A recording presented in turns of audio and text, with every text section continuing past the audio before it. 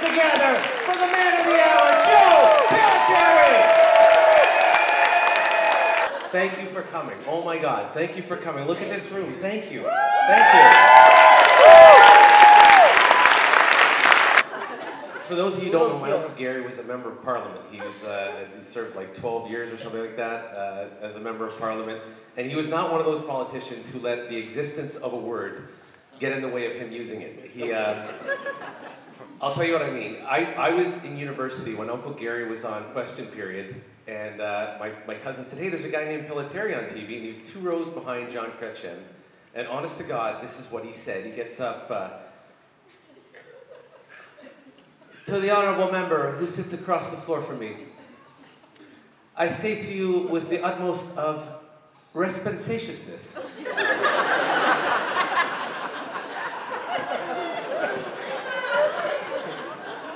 So when I picked up the wine, this is what he said. He said, Joseph, Joseph, you're doing comedy shows. You know, sometimes when you use comedetrics with people, And my Aunt Lena is very proud of her grandchildren. She's uh, my Aunt Lena is very proud. Of, like they've got successful grandchildren, but she throws it in your face every time you're there. So she sees me lowering the wine, and she goes, "What do you do, Joseph? Tell a joke? you tell a joke, and that's what you do tomorrow night? It's nice. You tell the joke. It's nice. You know, Alex, he got drafted by the Vancouver Canucks."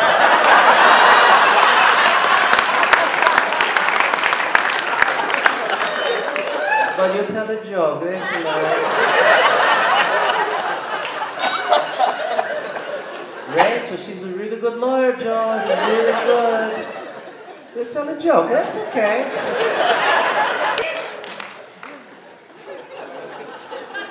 Uh, I want to thank my sisters and their friends uh, for setting all of the work that goes into this. If you know my sister Eileen, my sister Caroline, and all their friends, too many to name, they, uh, they're just the greatest. They really do amazing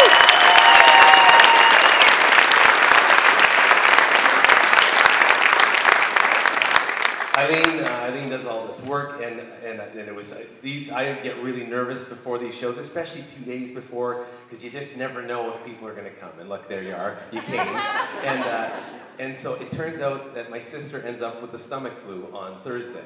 She ended up sick in her bed and sick as a dog. And there's two theories out there as to how she got sick. There's my theory and there's my mom's theory. I'll tell you what I thought. I was there on Tuesday when her little guy Stevie, she's got four kids, she's got this adorable little guy Stevie, and he's got the cutest little voice, this blonde little head, and he came running into her and he's like, Mom, mommy, mom, mom, mommy, I love you.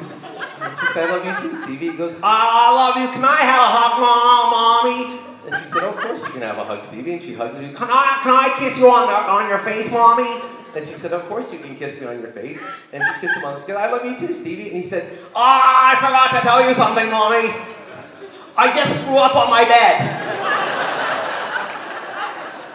Can, can, can you help me clean it?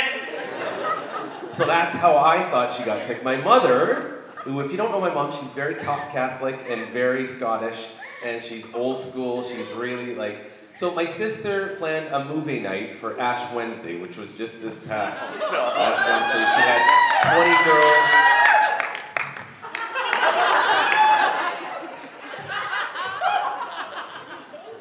How undersexed is that table? Trev, I'm looking at you. I'm not looking at.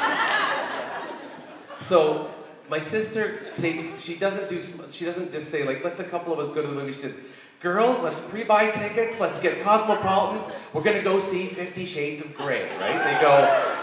So Fifty Shades of Grey on Ash Wednesday. I get the phone call from my mom, who's like, "Well, did you hear what your sister's planned tonight?" Fifty Shades of Grey. On Ash Wednesday, your grandparents would be rolling in their graves. And half the girls still had ashes on their head when they went to go to the movie.